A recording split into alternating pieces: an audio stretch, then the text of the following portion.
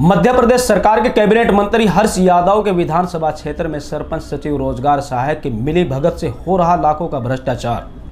और एक अधिकारी है कि मूर्ख दर्शक बनकर तमाशा देख रहे हैं। और इस खबर पर ज़्यादा जानकारी के लिए संवाददाता सद्दाम रियान हमारे साथ सागर से लाइव जुड़ चुके हैं।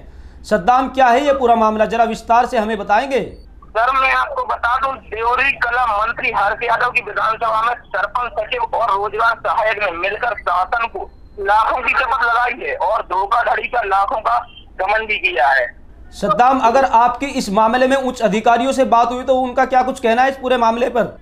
मामला बढ़ जाने के बाद ग्रामीणों ने सख्त कदम उठाते हुए इस पूरी घटना की शिकायत सागर कलेक्टर को की आवेदन के रूप में। लेकिन कई दिन हो जाने के बाद भी किसी भी अधिकारी और कर्मचारी का इस पर ध्यान नहीं है ना ही किसी भी अधिकारी ने अभी तक कोई कार्रवाई की है। इसको देखते हुए तो ऐसा लगता है जैसे कर्मचारी और अधिकारियों की मिली भगत से घोटाले को अंजाम दिया गया है। आगे देखने वाली बात ये होगी कि अधिकारी इस पर कोई कार्रवाई करते हैं या नहीं।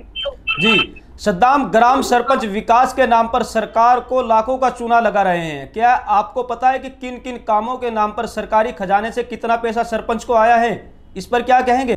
मैं आपको बता दूँ सरपंच द्वारा ग्राम कुशीनगर में आंगनबाड़ी की राशि निकाली, निर्माण नहीं किया गया। राशि की लगभग एक लाख निन्यानवे हज़ार कीमत थी कई पीसी रोड भी ऐसे हैं जिनकी राशि निकाली गई, लेकिन आज दिन तक वास्तविकता में निर्माण नहीं हुआ है और कागजों में उनका निर्माण हो चुका है। इसकी इतनी बड़ी बात हो जाने के बाद भी ना ही प्रशासन का इस ओर ध्यान है और ना ही अभी तक कोई कार्रवाई की गई है। सारी कीमत लगभग लगभग दस लाख रुपए जो सरपंच और सचिव द्वारा निकाली गई है। जी। शुक्रिया सद्दाम, तमाम जानकारी साझा करने के लिए आप इस खबर पर नज़र बनाए रखिए। कुछ भी अपडेट होगा तो हम आपका फिर से रुक करेंगे।